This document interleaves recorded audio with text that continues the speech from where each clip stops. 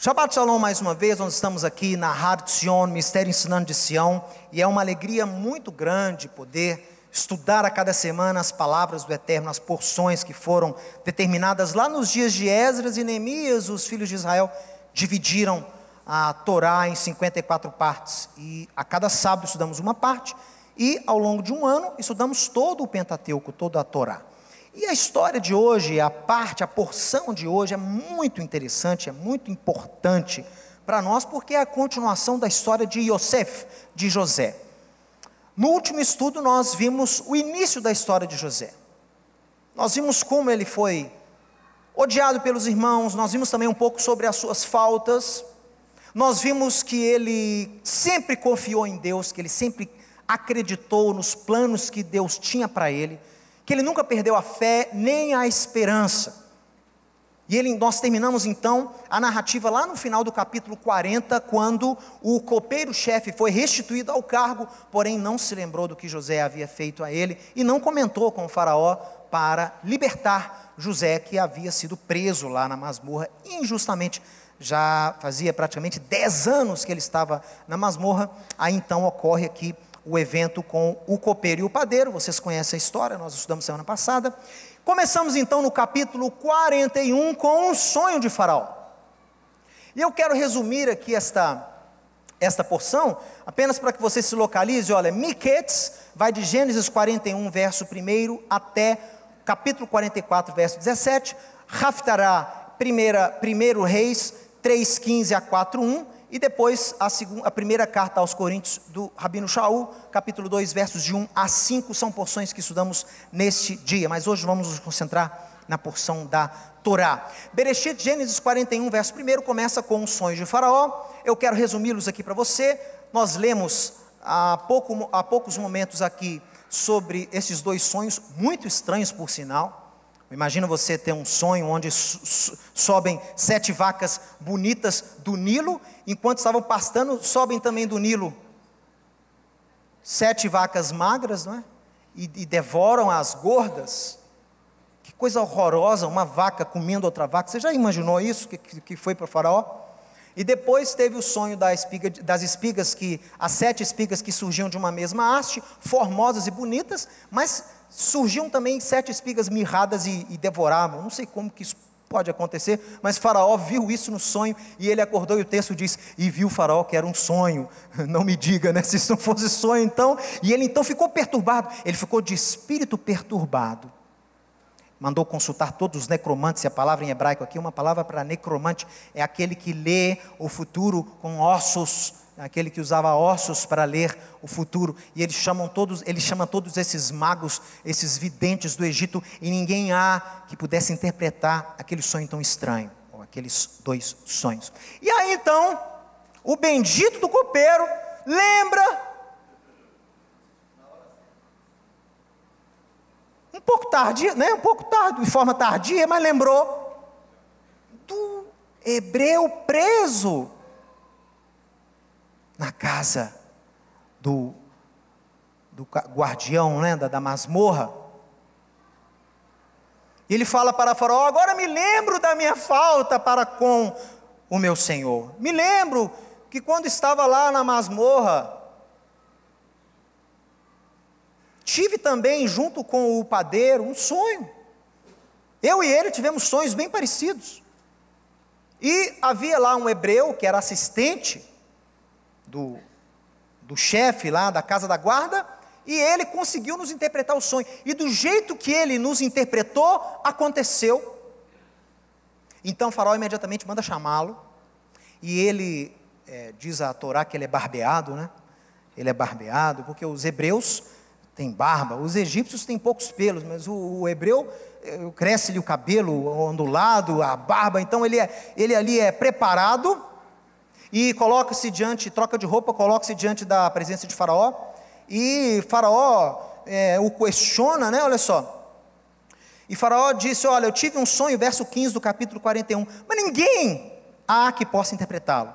Ouvi dizer a teu respeito que quando você ouve um sonho, você pode interpretá-lo. Olha as palavras de Faraó, atribuindo poder à pessoa de José. E olha a resposta certa no lugar certo. Veja, Respondeu-lhe José, verso 16: Não está isso em mim, Faraó. O poder não está em mim, mas Deus dará a resposta favorável a Faraó. É como eu disse no último estudo, que José em todos os momentos reconhecia Deus em sua vida.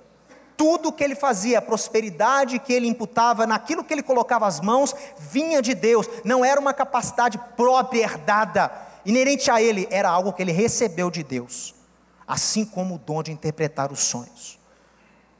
E ele testifica o poder de Deus, atesta que dele não vem nada. Eu gostaria que nós pudéssemos ter a mesma atitude.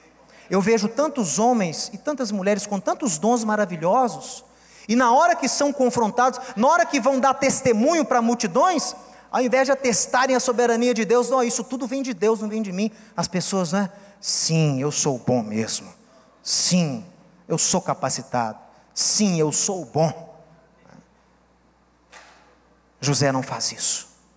José atesta o poder de Deus. O faraó lhe conta o sonho, olha, e ele nem pede tempo. Olha a diferença do servo de Deus para os magos e intérpretes do Egito. Geralmente eles pedem tempo, né? Vão lá consultar, é, não sei o quê, e o outro lá vai consultar osso. Não, não, não. O faraó lhe relata o sonho e, veja só, ele responde no verso 25, logo depois, assim que Faraó lhe relata os dois sonhos, olha, olha o poder de Deus. Verso 25: Então lhe respondeu Yosef: O sonho de Faraó é um só. Já começou botando todos os outros para trás. Não, não, o sonho é um só. Deus manifestou a Faraó o que há de fazer. Olha só, ainda atribuiu a Deus essa revelação para Faraó. Aí ele explica o sonho, você lembra, né, dos sete anos de fartura seguidos de sete anos de extrema fome no mundo. E ele ainda não só, olha pessoal, ele não só interpreta o sonho, ele já entra também com o seu dom profético, ele já entra também dando a solução. Por isso, Faraó, já que Deus te alertou, e foi duplamente por quê? Porque Deus tem pressa, que a coisa está por vir. Você vai fazer o seguinte: você vai arrumar aí homens, bons administradores, e eles vão juntar a quinta parte de tudo que o Egito produzir. Estabelece o quinto. Você achou que foram os portugueses? Não, não, não, foram os egípcios. Na verdade foi José, foi um hebreu. A quinta parte você vai separar e vai guardar, vai estocar. E aí você vai ter provisão nos sete anos de fome. Faraó e os sábios ficam tão impressionados com a interpretação e com a solução, que vira para os sábios e fala assim: oh, gente, não tem ninguém mais capacitado do que esse hebreu para assumir essa função que ele mesmo propôs. Ô José, você vai assumir essa função. Depois de mim você vai ser o maior do Egito. Eu só serei maior do que você no trono. Mas nada vai acontecer no Egito sem o seu aval. Tome aqui este anel para externar, para ser símbolo da autoridade que você passa a ter a partir de agora. E tira o anel, coloca o anel em Yosef, dá a ele versos de linhos e um colar de ouro. Deve ser aqueles colares egípcios, né? E dá um nome para ele. O faraó lhe chama de Tsafnat Paner. Tsafnat Paner, que deve ser alguma coisa como o intérprete dos mistérios, ou intérprete de mistérios, alguma coisa parecida. E aí nós temos o, o relato, né, que ele realmente é bem sucedido em arrecadar os fundos, em ajuntar mantimento durante os anos de fartura, entra os sete anos de fome extrema, aí a história volta no patriarca Jacó, que estava lá com seus filhos, e ele até tem uma frase interessante, eu sempre lembro do meu pai quando eu leio isso.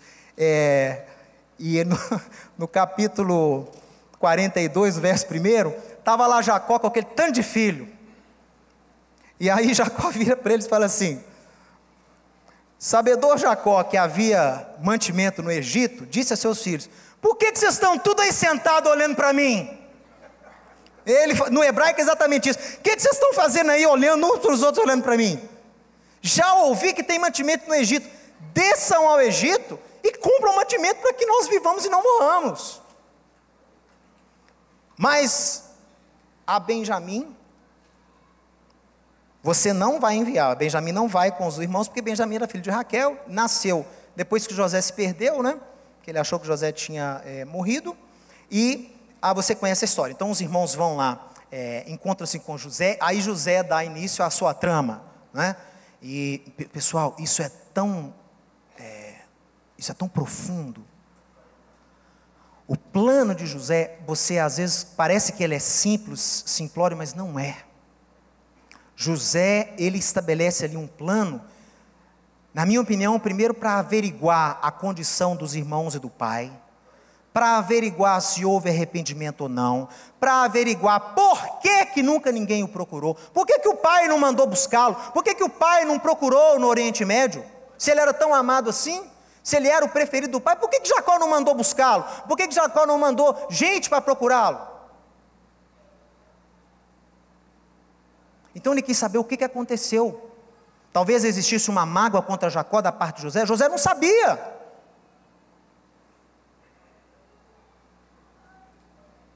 Com certeza tinha uma, uma restrição em relação aos irmãos. Jacó queria, eh, José queria saber se os irmãos se arrependeram ou não. Então ele queria descobrir o que, que estava acontecendo com a sua família lá em Canaã. E aí ele começa então com essa trama. Ele não se revela, os irmãos não o reconhecem, que nós vamos ver aqui hoje. Os irmãos não reconhecem Tsefinat Paner como José.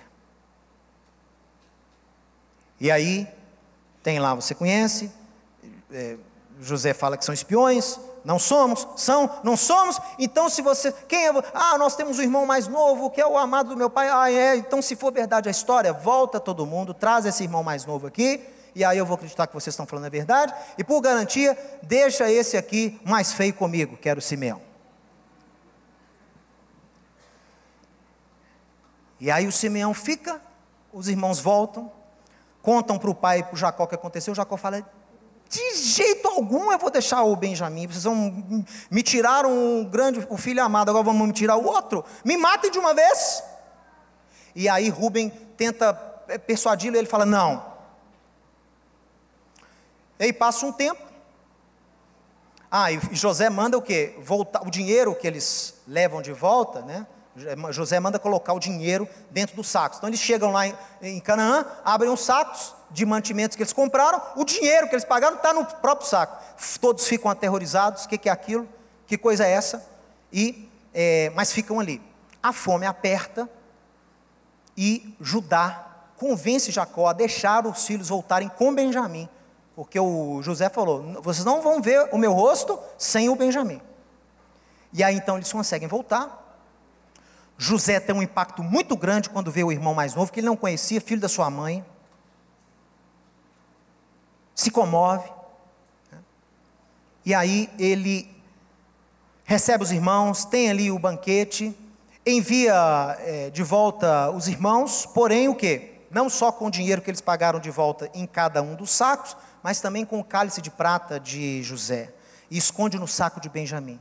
No meio do caminho, o mordomo é, servo de José alcança os irmãos, é o plano, né, pessoal? E aí vai lá, começando a. Fala assim, mas que coisa é essa que vocês fizeram pagando o bem com o mal? E aí eles falam, não, de forma alguma faríamos isso. Olha, se você achar esse cálice de prata aqui entre nós, nós todos, esse que você achar o cálice vai morrer e todos os outros serão escravos de José. E aí o mordomo fala: será conforme a sua palavra e vai pesquisando, né, vai mexendo nos sacos de todos os irmãos, começando do mais velho. Quando chega no Benjamim, voa lá o cálice de prata. E aí todos rasgam suas vestes. Olha que desespero. Não é só o mais novo que não ia voltar, não. Ninguém ia voltar. Iam matar Jacó. E aí voltam naquele desespero e é, se reúnem novamente ali com José.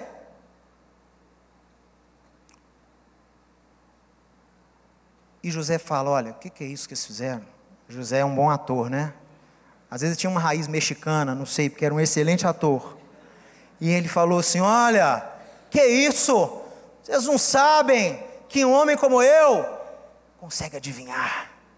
E o tal do cálice era, segundo o mordomo, disse: o cálice é o que ele usa para adivinhar as coisas. Vocês levaram o cálice. A única coisa que não podia ter levado era o cálice. E aí acharam lá o cálice, e aí José faz ali aquela encenação, né? E, e fala: Não, olha, não quero ninguém como escravo, deixa só o menor aqui comigo. O pessoal, antes da gente entrar aqui, deixa eu só falar uma coisa. Aqui eu entendi a cabeça de José. Até então, a meu ver, e também de alguns rabinos, porque há muitas interpretações sobre o estado emocional de José ali. A meu ver, José não havia ainda tido aquela certeza que os irmãos realmente, sabe, havia, havia se arrependido ali em relação ao que aconteceu. Ele, eu vejo que ele ainda tinha uma certa restrição com os irmãos, mas ele queria resgatar quem? Quem que ele queria tirar desse meio e trazer para si? Benjamim. A intenção desde o início, você vê que desde o início ele fala assim: Ah, você tem um irmão mais novo? Que aquilo era novidade para ele. Então traz ele aqui. Qual que era a intenção de José desde o início? Resgatar Benjamim do meio da sua casa. Tirar o Benjamim daquele ambiente. Para evitar que os irmãos fizessem com Benjamim o que fizessem com ele. Porque ele sabia que era seu irmão. E os irmãos, os outros, poderiam manifestar o mesmo tipo de ciúme. Ele sabia que o pai deveria preferir. Os irmãos falaram: o pai é louco com ele. Aí José se viu em Benjamim e falou: Não posso deixar o meu irmão sofrer o que eu sofri, tenho que tirá-lo de lá. O plano desde o início foi esse. E ele conclui o plano no final. Não, não. De, por isso que a, a, o cálice é, é colocado no saco de Benjamim, era o que ele queria que ficasse no Egito, para resgatá-lo. O plano estava indo bem até agora. E a Paraxá termina aqui. A Paraxá termina dizendo o quê? Com a intervenção de Judá. José dá o decreto, o menor vai ficar. E aí a Paraxá termina no capítulo 44, verso 17, e Judá se aproximou aos ouvidos de José e conversou e falou. Aí nós vemos o desfecho da história, que é o estudo da próxima Paraxá, Baigash. Mas só para adiantar um pouquinho, vocês lembram que o que Judá fala com José faz o quê? Toca no coração de José. O que Judá fala, as palavras que Judá profere, mexe, quebra, aquebranta, destrói aquela maga de José. E ele então libera o perdão aos irmãos, e não só libera, mas faz o quê? Se revela. Ani Yosef. Gente, eu sou José.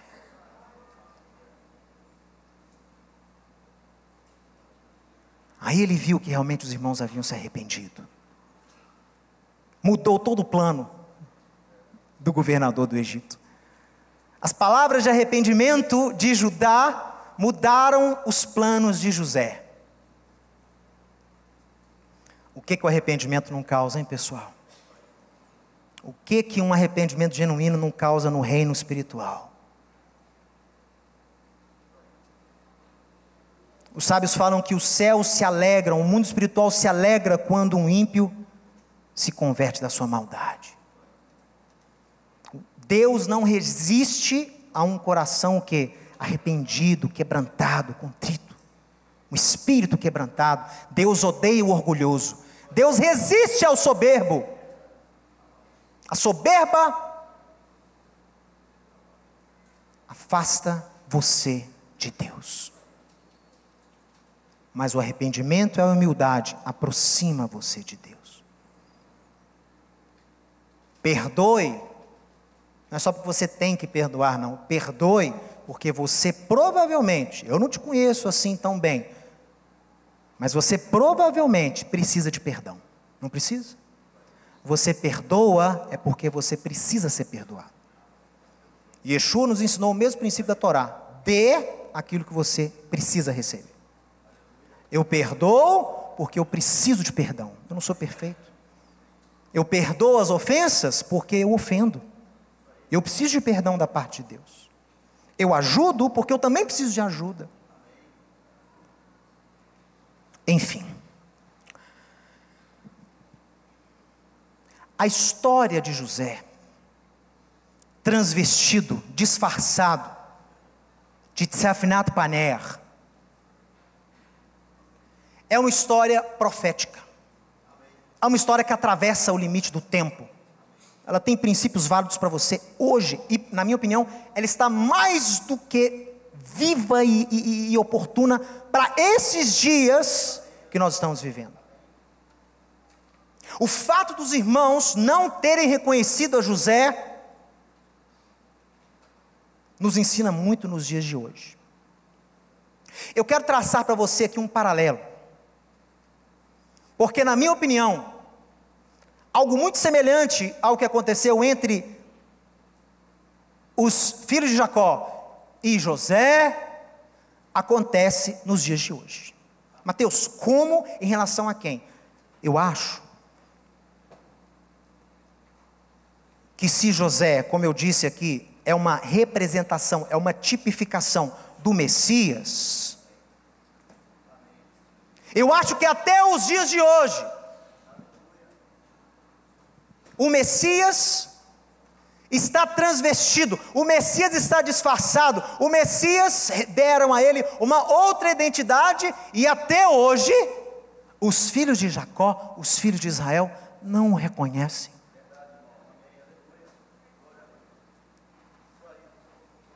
Até hoje, os filhos de Israel não reconhecem o Messias quando vem.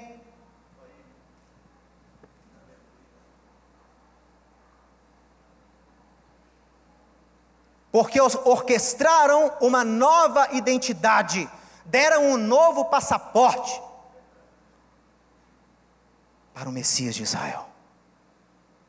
Assim como José foi extirpado das suas raízes hebraicas. Com certeza ele tinha que ter cuidados ali, o José no Egito, para não parecer hebreu ali no meio dos egípcios. Sei lá se tinha que depilar a barba. Diz que os antigos aí tinham umas técnicas aí de depilação, não sei. Eu sei que o sujeito deveria depilar-se. Olha que coisa horrorosa. Fazer a barba todos os dias, porque na época nos povos do Oriente, do Oriente Médio, homem sem barba era humilhação. Era uma afronta. Você queria humilhar um camarada, você fazia a barba dele e soltava ele na cidade. Então lá para José o hebreu tinha que se barbear todos os dias. Não podia ter pelos aparentes, não podia ter. Ah, mas o cabelo era crespo, então põe uma peruca. Tinha, tinha. Tinha usava todas aquelas vestimentas para esconder a sua herança hebraica. Não falava hebraico, não tocava nos escritos hebraicos, não se vestia como hebreu, não se portava como hebreu.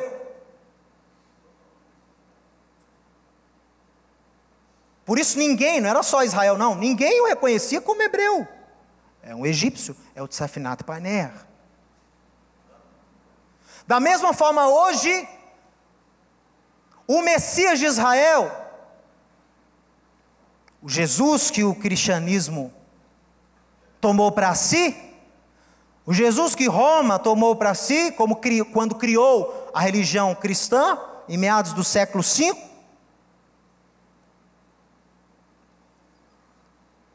a mesma forma, Roma, o que, o que Roma fez com o Messias de Israel, o Egito fez com José.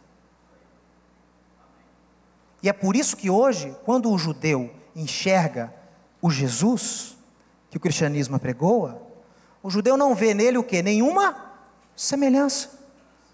Não vê nele nada que pudesse conectá-lo ao seu povo, ao povo de Israel.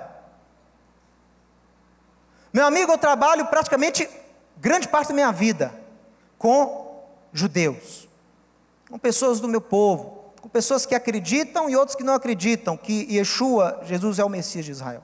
E eu vejo isso todos os dias. Não há nada nesse Jesus que é apregoado hoje pela igreja cristã, protestante ou católica, que conecte-o à identidade do Yeshua ben David, do Mashiach, Melech Israel, do Messias, rei de Israel. E eu quero traçar para você hoje, nesse estudo, um paralelo. Eu já dei isso aqui anteriormente, quero reforçá-lo hoje.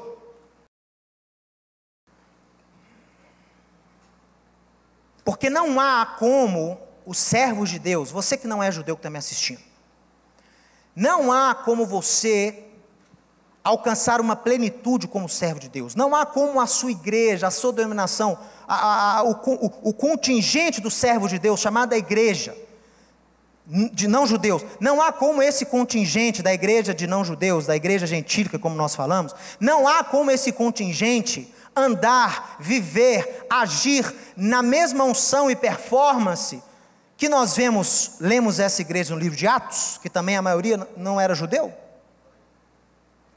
Não há como a igreja andar na mesma plenitude sem o quê? Sem o elemento principal. Sem reconectar-se às origens da fé, sem Israel, o povo judeu. A igreja conhece, ou pelo menos acha, ou conhece, ou acha que conhece a Jesus. Jesus é o elemento central, ou pelo menos é pregoado como se fosse o elemento central na religião cristã.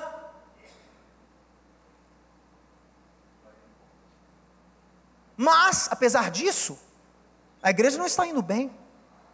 Vocês estão vendo aí, essa semana que essa palavra está sendo gravada, nesse mês que essa palavra está sendo gravada, atrocidades têm sido feitas contra discípulos de Yeshua. E o mundo se cala. Bárbaros, membros de uma facção, de extremistas religiosos, matam, degolam, decapitam, esquartejam, queimam pessoas, irmãos, compatriotas segundo a carne, são é do mesmo povo. Matam, esquartejam, queimam, degolam, decapitam pessoas do mesmo povo, simplesmente pelo fato dessas pessoas serem discípulas de Jesus. Crianças decapitadas.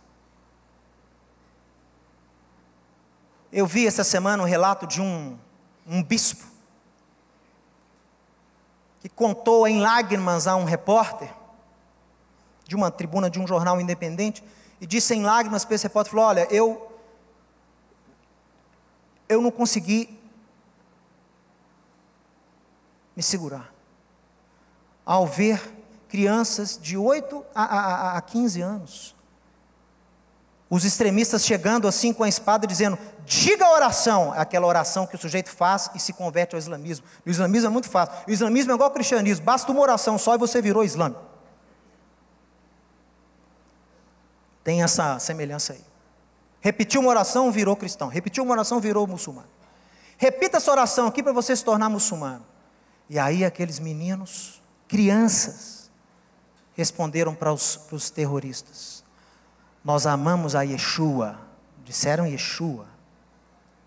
Nós amamos a Yeshua. Yeshua sempre esteve conosco e nós sempre o seguiremos. Foram decapitados, suas cabeças expostas. E o mundo se cala. Ninguém faz protesto, ninguém faz passeata, ninguém faz nada. Faz sim. No mesmo momento, na Europa, a União Europeia declara o Hamas uma instituição não terrorista. Não são terroristas. É filantrópico. É filantrópico. Agora eles podem receber doação de qualquer país do bloco europeu livremente. O mundo está cego. E quanto mais a igreja se mantiver afastada das suas raízes, Quanto mais Israel se mantiver afastado do seu Messias, pior será a situação. Por isso eu quero traçar esse paralelo aqui, para você entender a gravidade desse distanciamento de Israel do seu Messias. Sabe por quê? Porque o próprio Yeshua declara profeticamente que quando Israel reconhecer quem é o seu Messias, quando Israel tiver a revelação de quem é o seu Messias, o que vai acontecer?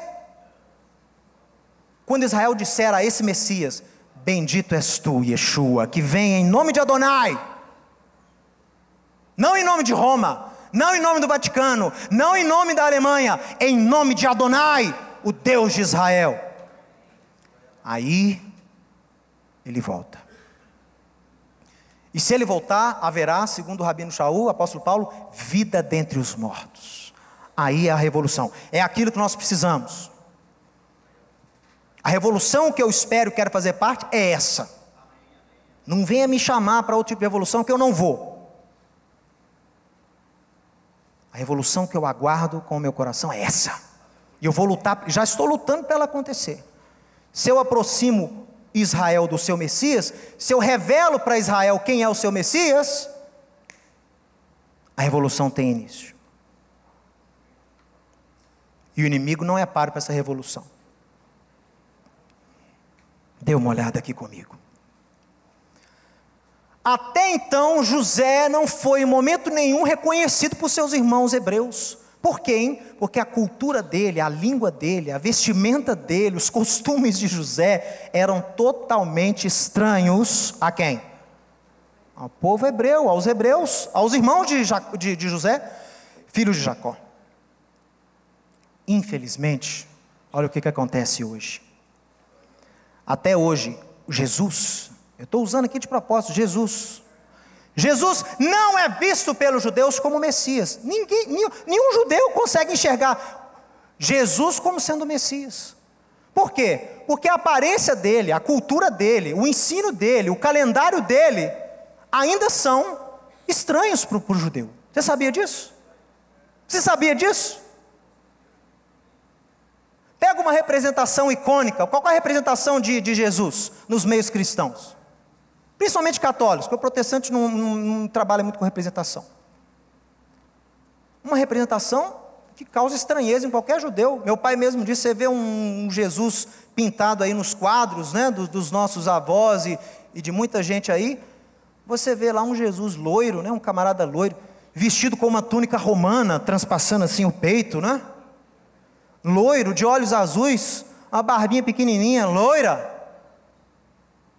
O judeu bate o olho num, quadro desse, uma representação dessa, e fala assim: hum, hum. cultura, não tem nada a ver. Aí o judeu olha a cultura cristã. Seja no meio católico, a quantidade de psalim de, de ídolos, que é o pior dos pecados para Israel, que é a idolatria. Se tem um pecado que, que Israel abomina e aprendeu a abominar, é a idolatria. Aí o judeu vê por um lado a idolatria e fala: aí, ó, como que esse Messias pode ser o nosso Messias se ele está se ele tá sendo conivente com essas coisas aí, ó, se ele ensinou isso aí? Ah, e aí eu vou falar sobre. Ah, é, não, mudaram tudo desse, desse Jesus. Como, fizer, como o faraó fez com José, tiraram dele todo o vestígio de judaicidade. Tem gente que me escreve agradecendo, falou, Mateus, quando eu comecei a assistir as palestras de vocês, eu me impactei assim, mudou minha vida no dia que eu ouvi lá que vocês falaram que Jesus era judeu. E eu acredito que impactou a pessoa. Mas a pessoa não está escrito na Bíblia que Jesus era, tem lá no começo o Evangelho de Mateus e Lucas, provando que ele veio da linhagem judaica. Mas por que, que o discípulo dele hoje, meio cristão, não atenta para isso? Porque ó, é embaçado, é mascarado. Jesus não tem povo, Jesus é para toda a humanidade. Deus não faz acepção de pessoas, Jesus não tem povo. Não é isso que a Bíblia diz. E é por isso que Israel está distante dele até os dias de hoje. Não apenas pelo endurecimento do coração, pelas vendas nos olhos que o próprio Deus colocaria, e eu atesto que há uma barreira espiritual da parte de Deus para se cumprir um plano predeterminado por Ele. Eu não estou falando que é tudo culpa do cristianismo, mas há uma parcela de culpa considerável do meio cristão para distanciar ainda mais o judeu do seu Messias. Olha só, o calendário dele não tem nada a ver com, com, com o calendário judaico. Como meu pai disse aqui, você está vendo, você hoje, graças a Deus, isso está mudando. Mas o calendário do Messias de Israel, olha só, o calendário do Messias de Israel não pode ser um calendário diferente do calendário de Israel. Ele não é o Messias de Israel? Ele não é o leão da tribo de Judá? Então o calendário dele não pode ser outro, mas o calendário dele no cristianismo, do Jesus, é outro.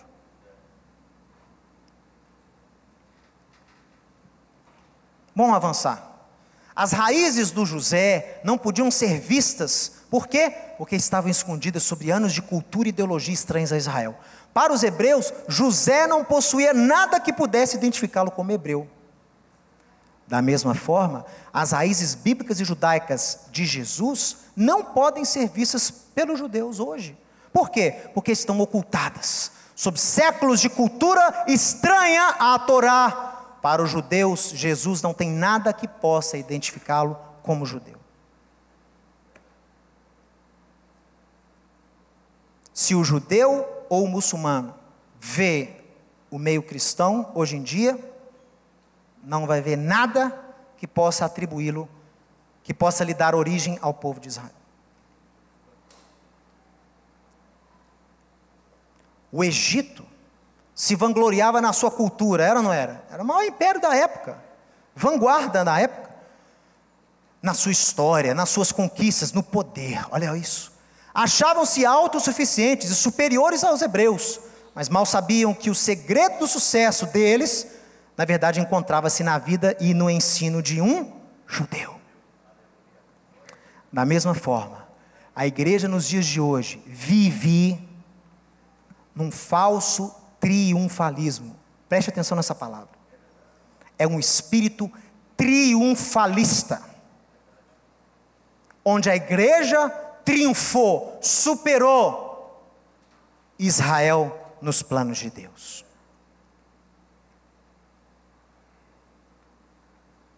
Essa semana mesmo eu vi um renomado pastor americano colocando nas, nas redes sociais, nos seus perfis, incentivando as pessoas para não se referirem a Jesus como Yeshua. E ele explica por que chamar Jesus de Yeshua é retroceder nos planos de Deus. Porque Jesus é o, é, o, é o Messias da humanidade. E quando você chama ele de Yeshua, você está meio que direcionando a Israel. Parece que ele é, parece que ele é dos judeus. É, meu amigo. Tem muita coisa para ser restaurada. Se a igreja continuar sendo responsável por esse distanciamento entre Israel e Jesus e Yeshua, a coisa não vai melhorar em nada para nós nem para Israel, nem para a igreja, nem para o mundo. Temos que trazer Yeshua de volta para casa. Ele já ficou tempo demais na Itália, ele já ficou tempo demais na Alemanha, na Suíça. Tem que voltar para casa, e a casa dele é Israel, a casa dele é Jerusalém.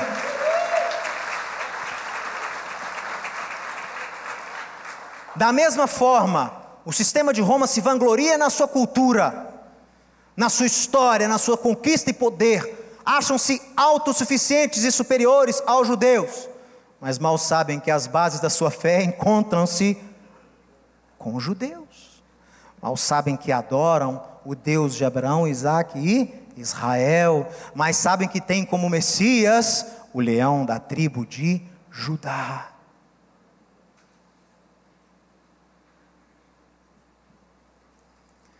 José, apesar de ser hebreu, foi enviado ao Egito para evitar que não apenas sua família perecesse, mas também para evitar que a terra do Egito perecesse durante os anos de fome. Da mesma forma, ainda que desconhecidas, desconhecida a sua identidade, os ensinos de Yeshua levaram ao mundo conceitos morais e éticos da Torá, evitando, na minha opinião, que a humanidade tivesse perecido. Preste atenção no que eu estou te falando. Eu sei que a imagem que o cristianismo passa de Jesus é um pouco é, falha, ela, ela, ela não é plena. Como eu disse aqui, muita, muito da identidade de Jesus é ocultada pela história do cristianismo, para não, para ele não parecer judeu, para ele não parecer próximo ao seu povo. Mas, ainda assim, esse Jesus que o cristianismo mostrou e tem mostrado ao mundo, ainda assim, ainda não original, né? ainda não restaurado, ainda assim, ele abençoou e abençoa milhares de pessoas. Ainda que disfarçado de Safinato Paner, José abençoou o Egito, abençoou os irmãos e abençoou o mundo.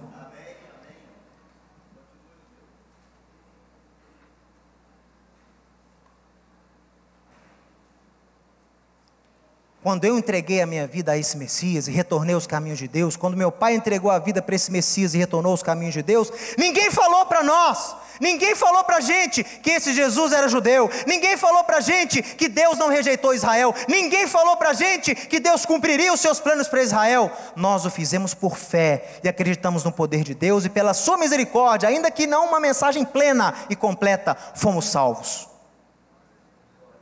Então é uma regra de proporcionalidade direta.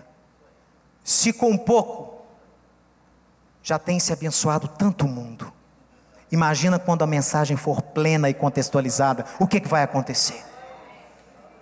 Eu reconheço a história do cristianismo como benéfica.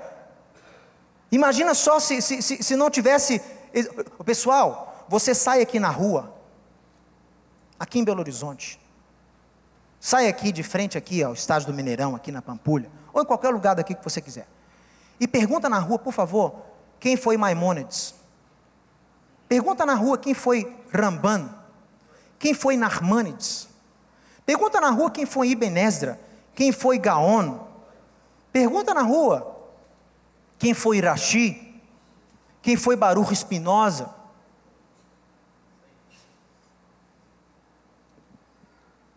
Pergunta na rua quem foram esses homens. Provavelmente, ninguém vai saber te responder. Mas agora saia na rua e pergunte assim: você sabe, você sabe da história de Davi e Golias? Você já ouviu falar da história de Noé, da arca de Noé? Você já ouviu falar da história da criação de Adão e Eva? Você já ouviu falar da história de Jonas e a baleia? Todo mundo conhece. Conhece ou não conhece? Conhece. E quem foi o responsável? Você pode ir, você pode ir nos confins da terra. Pergunta lá. Já ouviu falar de, de Moisés? Já. Já? Já. De, de Noé? Já. Conhece a história de Adão e Eva? Conheço. Quem foi o responsável por levar esse conhecimento da Torá aos confins da terra? Me fale você. Foi Maimônides? Foi Rashi? Foram algum, foi algum sábio de Israel? Não, meu amigo. Foi esse Tsafinat Paner. Foi esse Jesus que, ainda que deturpado, apregoou a mensagem de Deus e a palavra do Eterno para toda a humanidade, ainda tem feito. Se disfarçado, se descontextualizado, ele já está abençoando o mundo. Imagina quando você tirar as roupas egípcias dele. Imagina quando você tirar as roupas romanas dele. Imagina quando você restaurar o ensino dele, restaurar a vestimenta dele, restaurar a língua dele. O que é que não vai acontecer?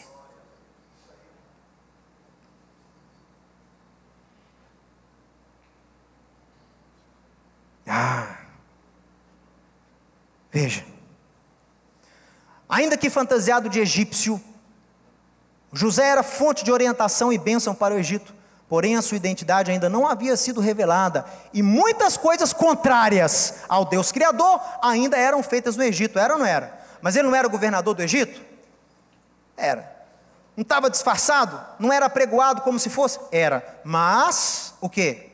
Ele ainda, ainda existia no meio egípcio coisas contrárias à vontade de Deus. Infelizmente, pessoal ainda sem conhecer a identidade verdadeira, Yeshua foi e é bênção para a igreja. Eu não nego isso. Eu não nego isso. Eu não estou aqui apregoando uma dicotomia, como eu vejo muitos fazendo. Rejeitem o Jesus, passem a adorar a Yeshua. Jesus é o Deus do, do, do, da Babilônia, Yeshua é o Messias. Não, não, não, não, não, não, não. O meu amigo, Safnat Paner e Yosef é a mesma pessoa. É a mesma pessoa. Se você os separam, você não vai entender o que precisa ser feito. Não, você não pode separar. Yeshua e Jesus são a mesma pessoa. Porém, o Jesus que é apregoado está disfarçado, está descaracterizado. Você, cabe a mim, a você retirarmos as vestes, a cultura estranha, o ensino estranho, para que ele possa, para que esse Jesus possa ser reconhecido como Yeshua. Não são duas pessoas, são a mesma pessoa.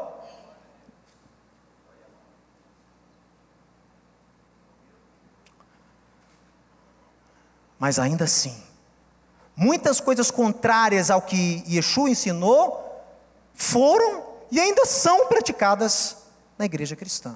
Isso é, infelizmente, eu tenho que atestar isso. Os hebreus não gostavam dos egípcios, e vice-versa. Mas o egípcio era pior, sabe por quê? Porque ele se, se via o quê? Superior aos hebreus. É uma raça superior, é um povo superior. Você vê que o, na história de José, os egípcios não comiam com os hebreus, não podia. Se acha superior. Eles eram considerados pagãos, porque o hebreu considerava o egípcio o quê? Pagão. Pois apesar da atuação de José, a cultura e as práticas eram sobremaneira distantes dos princípios do Deus vivo. E, a, e hoje, hein? Os judeus não apreciam os cristãos. Não se engane, não. Não se engane. Você que é cristão que está me ouvindo, você que está inserido no meio protestante ou católico evangélico, não se engane. O judeu, por motivos vários que eu estou tentando relatar aqui, não aprecia, não não gosta da sua religião, por causa das coisas que ele vê. Não é apreciado. Não estou falando de você como pessoa, estou falando da, da, da religião que você segue. Não é apreciado. Não tem nada naquilo que possa atraí-lo. Ah, Mateus, mas eu estou indo lá para Israel para estudar lá com os judeus que vão fazer um curso sobre as raízes judaicas de Yeshua. Ah, é? Agora descobriram que Jesus é bom para dar dinheiro. Estão aprendendo com os evangélicos. Judeus que desprezam Yeshua, judeus que rejeitam Yeshua, ensinando sobre Yeshua. Que lindo. Porque descobriram a fonte. Que ele pode gerar dinheiro, mesmo sendo um impostor mesmo sendo um impostor, mesmo sendo um Messias falso, ele pode nos dar dinheiro. Venham, evangélicos cristãos, venham que nós vamos estudar, ensinar você sobre Jesus histórico. Venham que nós vamos ensinar você sobre a língua dele. Mas você crê que ele é o meu? Você? Não, não, não, não. Isso aí é outro departamento. Mas o que, você acha dele? Não interessa. É claro que interessa. Uma pessoa vai ensinar para mim sobre Yeshua e não crer nele como Messias? Ué, que é isso? Não, Mateus, mas é, é lá em Israel que eu vou estudar. O diploma é escrito em hebraico. Ô meu amigo, acorda! Tem judeu discípulo de Cristo aqui no Brasil que paga um preço alto aqui e você despreza? E vai lá em Israel estudar com um judeu que cospe no nome de Yeshua só porque está lá em Israel? Que hipocrisia é essa? É mandamento de Deus para você a ajudar, a apoiar os que estão pagando o preço aqui por serem discípulos de Yeshua, que sofrem na pele o que os outros judeus fazem conosco. Você ainda vai lá e dar dinheiro para eles? Por causa de orgulho. Que o profeta na sua cidade não tem honra.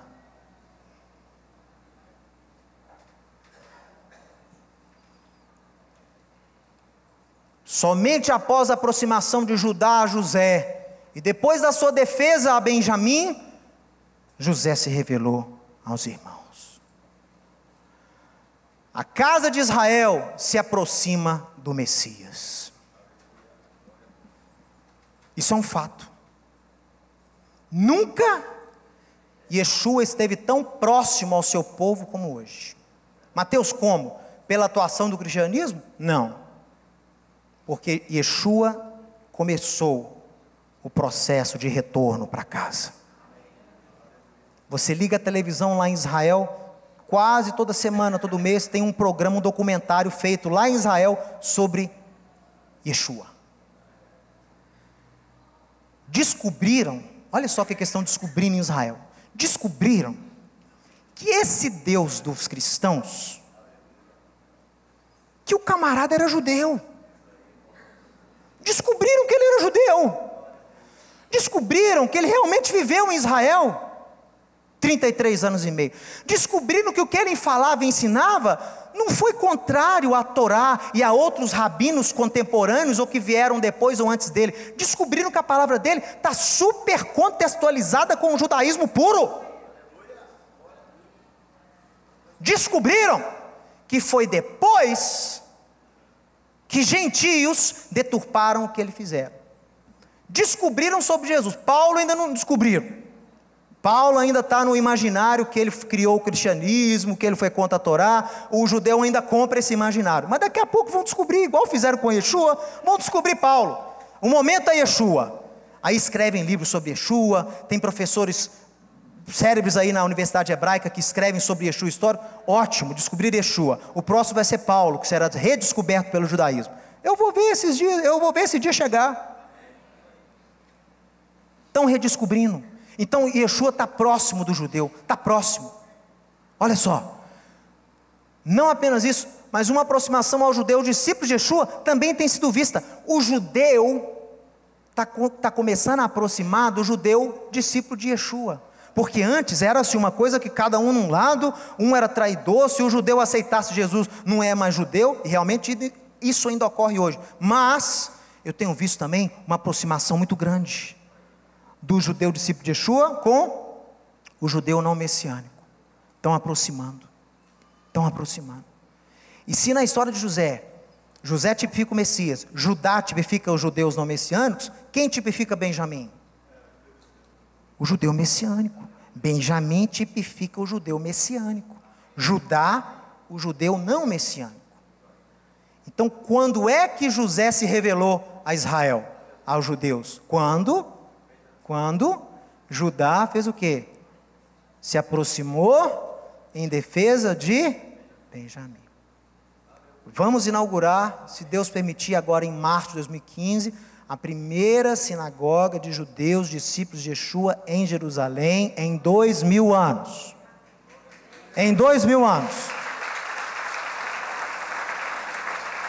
Pela primeira vez na história, em dois mil anos, será feito um prédio desde a sua fundação, sem nenhuma influência, sem ser filiado a nenhuma missão externa, um prédio 100% feito por judeus discípulos de Yeshua em Jerusalém, para ser sinagoga, não é para ser igreja. Primeira vez. E os ortodoxos lá em Jerusalém fizeram de tudo para prejudicar a obra compraram testemunhas, postergaram a coisa na corte, nos processavam sem parar, pichavam o muro, depredavam nossas construções, tudo eles fizeram para nos prejudicar. E sabe de onde veio o apoio? Sabe de onde veio o apoio? Da vizinhança, de judeus não messiânicos, mas que viam, primeiro, viam a injustiça dos ortodoxos, e ninguém está aguentando mais esse espírito religioso lá em Israel que afasta as pessoas de Deus e não aproxima elas a Deus. E depois eles viam também o que? Os bons frutos, a boa obra que, que faziam. Então se aproximavam. E quando isso começa a acontecer, eu sei que o que? Eu sei que a revelação de José está próxima. Quando Judá começar a se aproximar de Benjamim, a revelação está próxima. Escreva isso. Os irmãos não reconheceram a José no início, mas quando José se desfez da roupa e se dirigiu aos irmãos pelo seu nome hebraico, aí, meu amigo, imediatamente ele foi reconhecido. Eles, talvez eles não acreditavam. Talvez fosse uma surpresa, um choque. Mas quebrou-se um paradigma. Da mesma forma, quando nós retirarmos de Jesus as suas vestes romanas e protestantes e restituirmos a Ele a sua identidade judaica, os seus ensinos contextualizados e a sua mensagem serão imediatamente reconhecidas como sendo judaicas. Isso já está acontecendo. Para o judeu poder entender Yeshua como, como Messias, ele tem que separar a história do cristianismo e começar a analisar os escritos do Novo Testamento. Ele tem que analisar os escritos sem a história do cristianismo. Porque se ele pegar a história do cristianismo para entender Jesus, aí não vai dar certo. Então ele tem que separar. Isso aqui é a história do cristianismo, isso aqui é a mensagem de Yeshua e seus apóstolos. Pronto, aí ele vai ler. Porque o judeu que conhece a história do cristianismo, aí ele começa, ele quer entender Jesus, mas ele conhece história do cristianismo, ele não leu o Novo Testamento. Mas aí ele começa a ler. E aí ele vai procurar lá no Novo Testamento as coisas que ele vê no meio cristão. Ele vai procurar lá no Novo Testamento Natal, celebração do nascimento de Jesus. Ele não vai achar. Ele não vai achar ninguém celebrando. Ele não vai achar a igreja, não vai achar os apóstolos instituindo uma data para celebrar o nascimento dele. Ele não vai achar lá presépio. Ele não vai achar lá Papai Noel. Ele não vai achar nada disso. Não vai achar lá coelhinho de Páscoa, nem nada disso. Aí ele começa a falar, mas que isso? Ele não vai achar Roma, ele não vai achar Vaticano, ele não vai achar Alemanha, ele não vai achar Coreia, ele não vai achar essa quantidade de igreja evangélica que existe. Ele vai achar lá um batista, mas que era judeu também. Tem sim, tem um batista na, na, na Novo Testamento, mas ele é judeu. Até esse é judeu também. Então, é, sabe?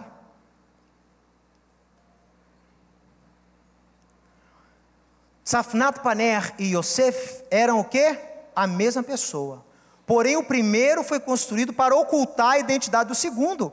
Não podia haver em Yosef nenhum vestígio da sua origem hebraica. Preste atenção nisso que eu disse. A identidade de Safnat Paner foi criada para quê? Para ocultar a identidade de quem? De Yosef. Criou-se uma identidade de um para ocultar o outro. Jesus e o Mashiach Yeshua são também o que? A mesma pessoa. Só que a identidade do primeiro foi construída para ocultar a identidade do segundo. Não podia haver em Jesus nenhum vestígio da sua origem judaica. É hora de você e eu atuarmos e ajudarmos a Deus nesse tempo de revelação. Você vai restaurar a identidade de Yeshua, não só para Israel o reconhecer como Messias, mas para que a igreja entenda de onde ele veio e quem ele é e para onde ele volta.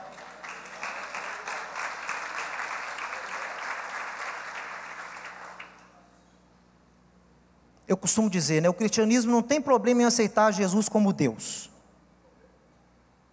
O problema é em vê-lo como rei. Porque o rei exige fidelidade. Um rei exige obediência. Um rei tem um reino.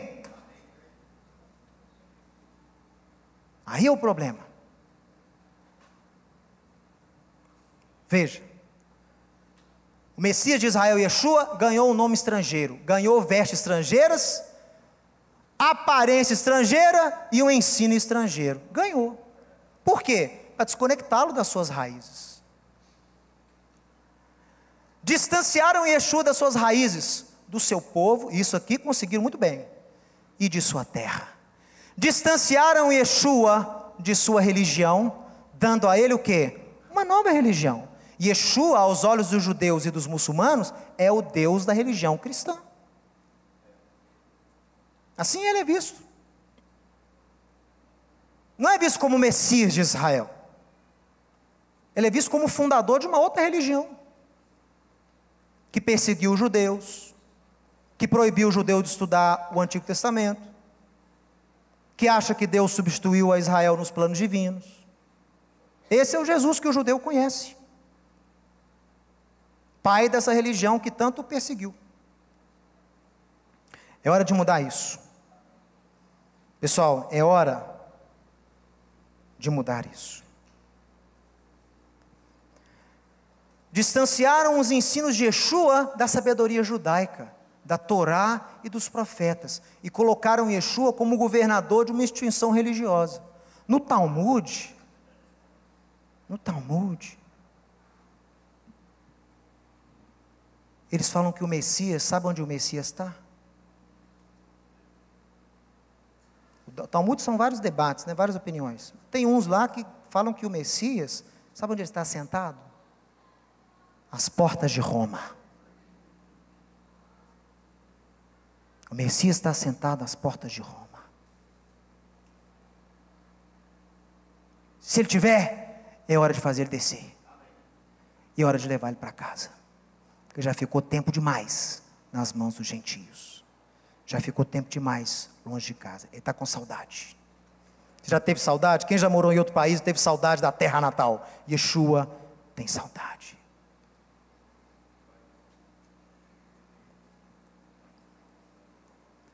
Distanciaram Yeshua da cultura do seu povo das suas festas, do seu calendário, dando a ele um novo calendário, novas festas, deram a ele até um novo aniversário. Muita gente vai celebrar semana que vem o aniversário dele, do menino. É, vocês vão celebrar, muito, não, vocês não. Muitas pessoas vão celebrar o nascimento do menino Jesus.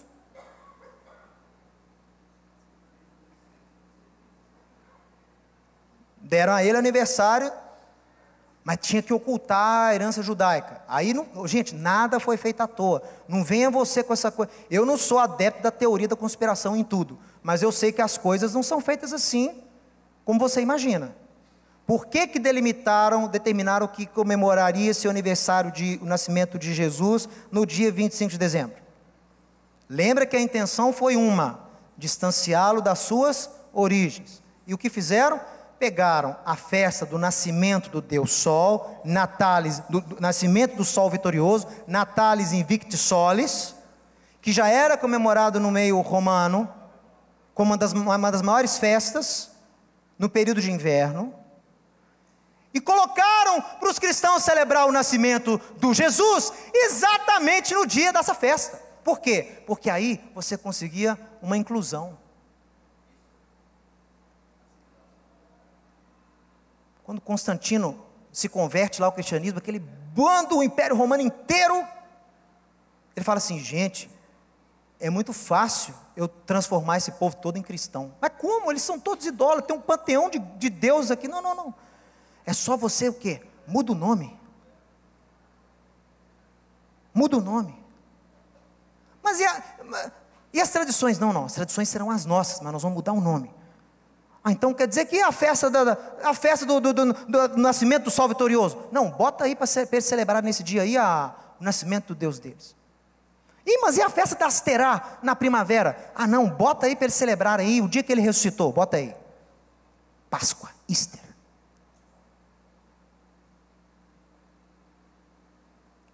Mas e a quantidade de Deus que nós temos?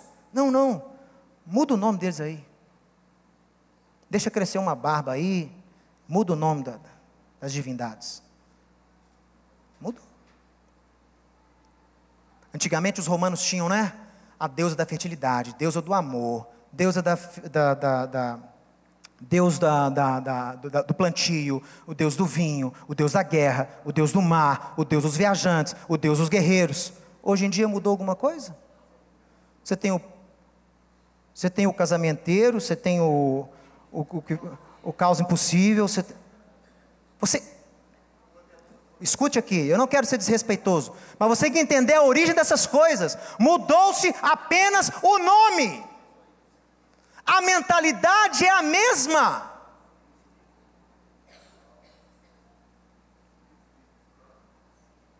Para distanciar você do maior conceito na Bíblia, Deus é um só. E ele não divide a sua posição com ninguém. Ele ungiu ao seu próprio filho e lhe deu autoridade sobre todas as coisas. Só tem uma coisa que Jesus não sujeita. Sabe o que é? Paulo nos ensina isso. Os cristãos não prestam atenção no ensino apostólico. Deus sujeitou a Jesus todas as coisas do universo, exceto uma. Quem Jesus não, Yeshua não sujeita sob seus pés? Aquele que lhe sujeitou todas as coisas. Tem autoridade aí, meu irmão? Tem submissão de um ao outro? Um não faz aquilo que o outro não delimitou, um não age independentemente. Deus não é uma tríade que cada, cada elemento sai por aí fazendo o que quer. Deus é um. Há um só Deus. E um só mediador entre Deus e nós, a saber, Yeshua HaMashiach. Não tem outro. Ah, eu vou pedir aqui para a deusa da fertilidade, pedir para Zeus para me abençoar. Não! Isso é idolatria.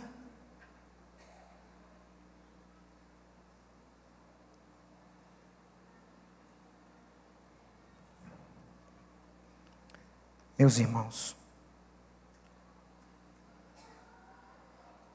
o Jesus menino. Ah, Mateus, por que você não comemora Natal? Porque você é judeu? Não. Não é isso, não. Eu não comemoro Natal porque não é uma, não é uma primeiro, não é uma, uma ordenança bíblica. Ah, mas você celebra coisa que não tem ordenada na Bíblia? Tudo bem. Então, além de não ser uma ordenança bíblica, não é uma tradição bíblica. Ah, mas tá. Então, além, além de não ser uma ordenança bíblica, não é uma tradição bíblica, nem muito menos apostólica. Não é mandamento, não é tradição, não é apostólico. Eu não tenho nada a ver com isso. Ah, mas é sobre Jesus. E se você colocar um anel de diamante num porco, ele vai, ele vai virar cachê?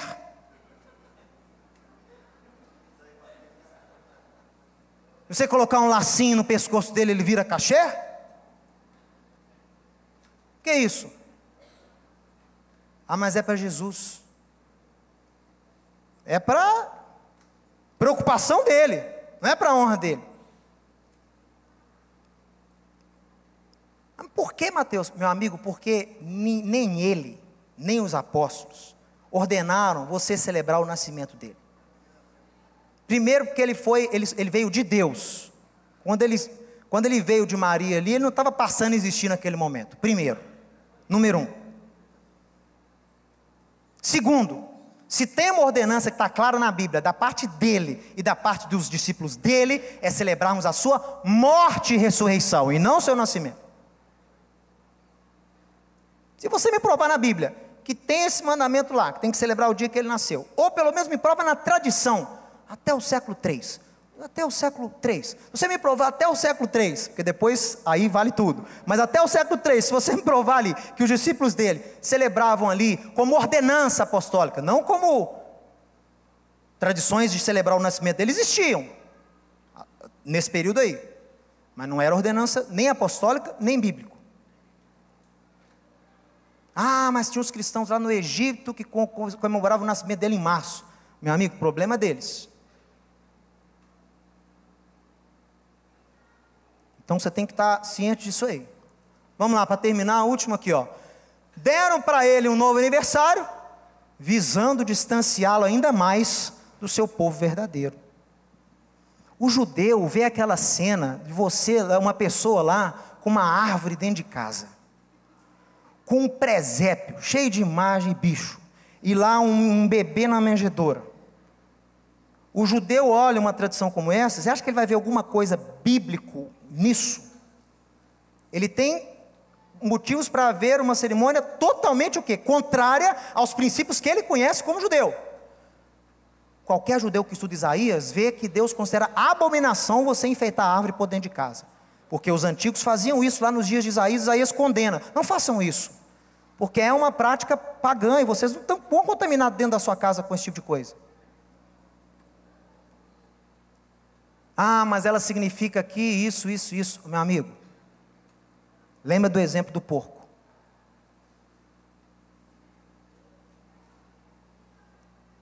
É como aquele descendente judeu lá em Portugal, Marrano. Foi forçado a se converter ao, ao, ao catolicismo. O cara era judeu. Aí não pegaram ele lá e falou: ou você converte ou você morre. Falei, não, peraí, o que, que eu tenho que fazer? Não precisa fazer nada. Fica, ajoelha aí. Aí ele ajoelhou. Aí o padre veio, pegou a água benta partir, agora, a partir de agora você é cristão, cristão, cristão. Aspergiu água três vezes nele. Ele levantou e falou: Só isso? Só isso. Agora, não faça nada que os judeus fazem, porque você agora é um cristão. Mas peraí, mas e a minha linhagem, a minha descendência, minhas tradições? Não, não. O que foi feito aqui, você virou cristão. Acabou. Mas é simples assim? É. E o judeu ficou aquilo na cabeça. Na época lá tinha o costume de, dos cristãos não comerem carne na sexta-feira. Não era só na Semana Santa, não. Toda sexta-feira não comia-se carne, em alusão à crucificação de, de Yeshua, que não foi na sexta-feira, aliás. Mas, voltando à história, aí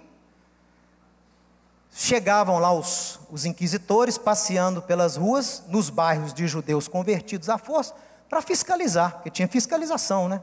O camarada não podia ser pego fazendo uma coisa que o judeu faz.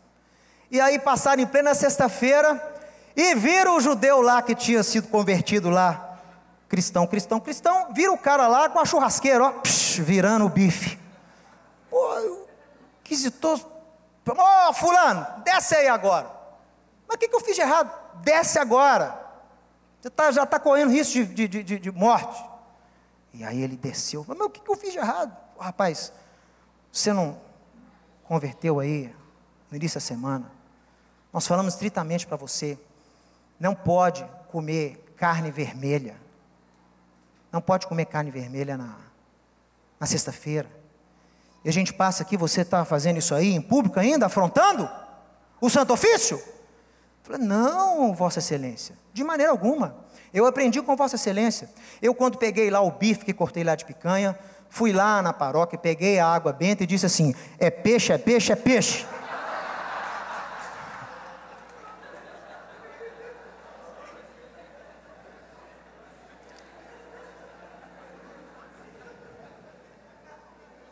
Ah, meu irmão.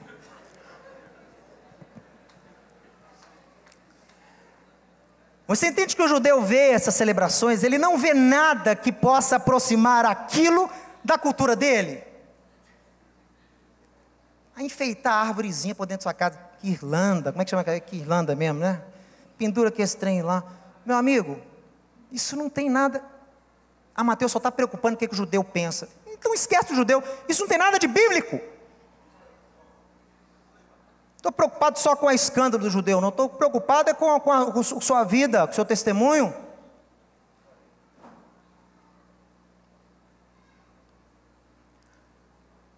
Como resultado de todo esse trabalho de alienação, Yeshua se tornou estranho ao seu próprio povo. Por sua vez, Israel viu nesse Jesus um inimigo que persegue e odeia o judeu. Mas depois de dois mil anos, Deus começa a retirar de Yeshua as suas vestes humanas. Ah, pessoal, eu estou muito feliz que eu estou conseguindo ver pelo menos o início disso acontecendo. Eu já estou vendo cristãos ao redor do mundo reconhecendo a quem servem, querendo se reaproximar à fé verdadeira dos apóstolos, dos profetas. Eu estou vendo isso acontecendo. Eu estou vendo Jesus cada vez mais menos romano e alemão e cada vez mais judeu. Eu estou vendo isso. Se tem um lá nos Estados Unidos que está proibindo os membros de falar em Yeshua, eu acho muita pessoa séria aqui que reconhece que o nome dele original é Yeshua. Pode falar Yeshua, não tem problema. Eu não faço doutrina em relação a nome, não. Você pode falar Jesus ou Yeshua. Mas, ó, o nome dele é Yeshua. O nome dele é Yeshua. Ó, oh, o ensino dele começa a ser restaurado, colocado mais uma vez no contexto original, em consonância com a Torá e com os mandamentos do Deus de Israel. Jesus, o Deus da religião romana, volta a ser Yeshua, o Messias e Rei da casa de Israel. O Deus relatado morto e derrotado numa cruz porque essa é a imagem que o judeu tem do Jesus. Ele chega numa igreja e vê lá o quê?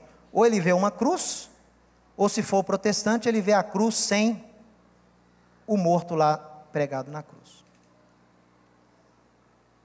Uma vez eu trouxe um amigo meu judeu lá de Israel, levei-o a Ouro Preto. E lá em Ouro Preto eu levei ele lá, mostrando pelas construções, né? Barroco e tal. Ele gosta muito de arte. E ele é artista, inclusive. Aí ele, ele entrou em uma daquelas igrejas e tinha lá um, um caixão de vidro, né? Com a, com a imagem ali do Jesus, sofrendo, morto, sem vida. E aí ele falou assim, Mateus, e ele é messiânico, ele, ele falou assim, Mateus, veja essa imagem. Eu, eu já tinha visto. É assim que o judeu enxerga Jesus. Um sujeito que falava que era filho de Deus, que falava que havia sido enviado por Deus, mas que terminou morto e derrotado. É essa imagem que nós temos que mudar. Ele não está morto aqui nesse túmulo, nem está pregado no madeiro. Ele está vivo. Ele não ficou lá. Ele não ficou na cruz. Ele não ficou no túmulo de José de Arimateia. Ele ressuscitou. A ressurreição é muito mais importante para a sua fé do que a cruz. Você toma a cruz e segue o exemplo de Yeshua até, o apóstolo Paulo ensina, você tomar posse na vida dele através da ressurreição. A ressurreição é o que dá o triunfo à sua crença. Porque se aquele túmulo lá em Jerusalém tiver restos mortais dele, ele não é o Messias. A cruz foi uma etapa que ele venceu para chegar à ressurreição. Então esse amigo falou isso comigo e eu fiquei muito impressionado. Olha, o Deus derrotado e morto numa cruz volta a ser rei vitorioso e soberano sobre toda criatura. Somente assim, os ensinos e a missão do Filho de Deus serão plenos e alcançarão não só Israel, bem como também todas as nações da terra. Vamos ficar de pé?